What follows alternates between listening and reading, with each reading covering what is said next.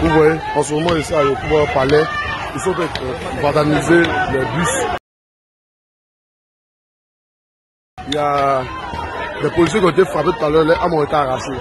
Ils sont en ce moment à Yopouba Palais. Vous ne filmez pas?